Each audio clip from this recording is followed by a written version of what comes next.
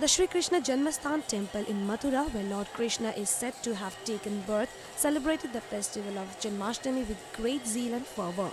As the clock struck 12 midnight, the temple reverberated with sounds of bells, conch, and Vedic hymns. Milk, curd, honey, and ghee were used to bathe the idol of the deity, and the Abhishek ceremony was completed with arti.